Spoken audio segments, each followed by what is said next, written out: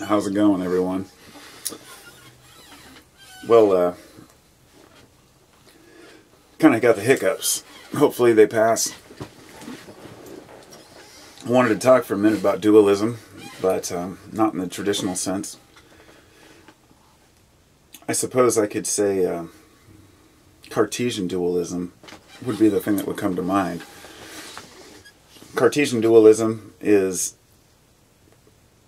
it's another term for Descartes, Rene Descartes, and it was his form of dualism.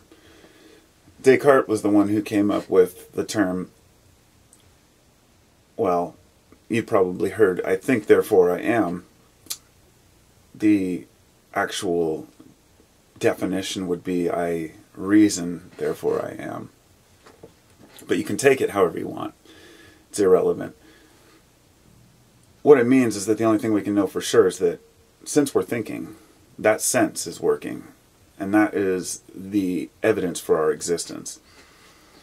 Now, dualism, by definition, is generally a religious term merely because accepting dualism is, in a way, accepting the supernatural. It's saying that the universe has created two sides to every coin, that everything has an opposite and for a while I rejected dualism, only because I was going by society's definition of it.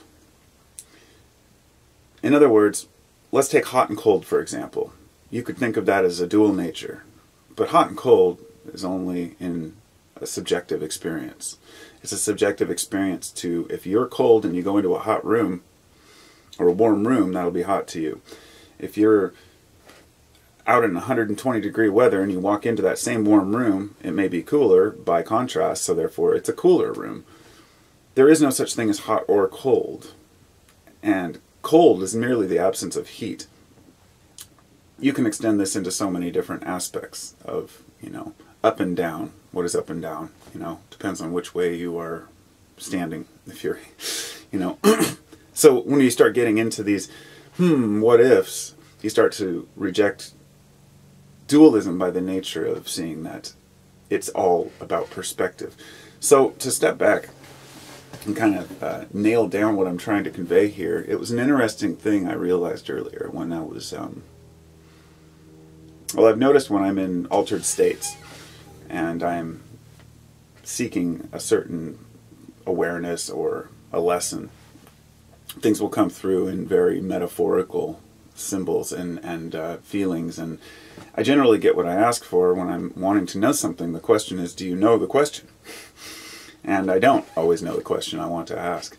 But it's usually a very simple thing. And in this, this time, something came to me when I felt some cold on my left hand or I bumped something and I thought, you know, if I feel the same temperature on both hands, it won't throw off, say, my meditation. Let's say somebody brushes your arm while you're sitting there with your eyes closed and you feel that on one side.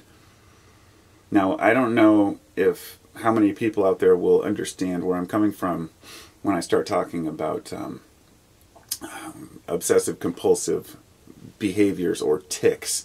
Um, many people have strange tics, habits, twitches, or things that they do that is due to it seems like the the more um, the more intellectual a person is, it seems like the more tics they have, and perhaps that's because they have too much to think about. I'm not sure, but it's a very it also has to do with what we're consuming and whatnot. But I mean, that would be like a twitch or a habit where you're like doing something in particular.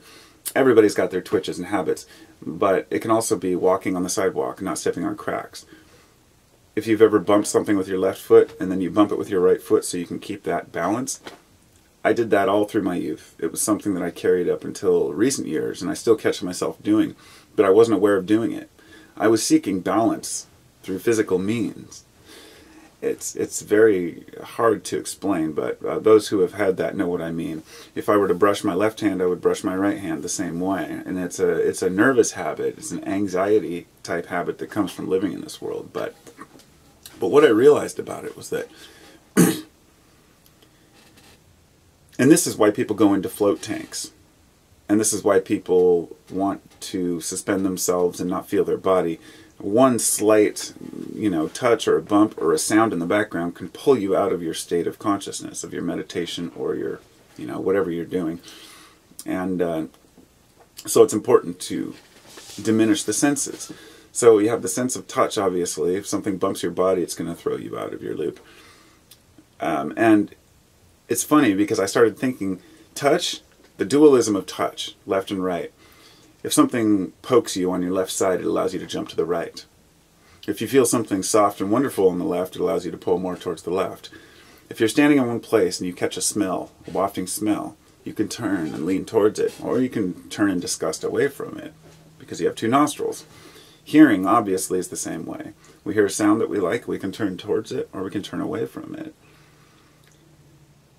But there are, I, I guess, taste would be one where it's a little bit different. Taste is kind of everywhere. The taste buds are kind of spread out everywhere. But, but I consider taste and smell to be one and the same.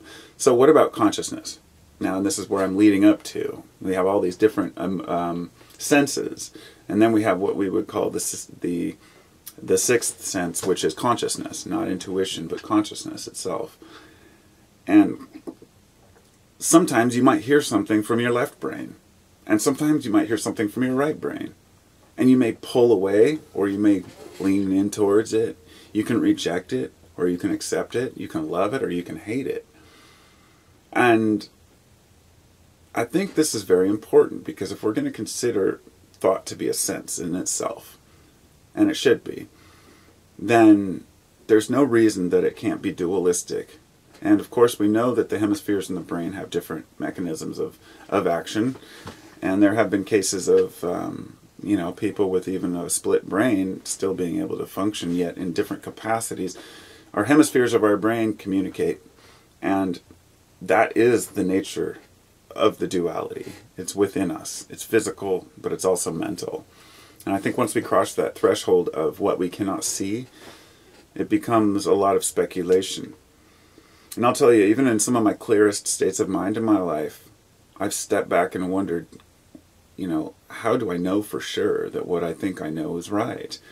And usually I come away realizing that I can't be sure. But so many people are so very sure of themselves. Um, they create a picture of the way that the world works. See, by nature, let's say atheism has to reject dualism because dualism assumes that there's a system in place rather than a chaotic, you know, uh, that that there's some sort of um, it might you might come back to karma. Karma would be the ultimate form of balance through dualism, if you will. But but I'll go now because I've gone on too much on this already, and uh, I just want to get that point across. So I'll talk to y'all soon.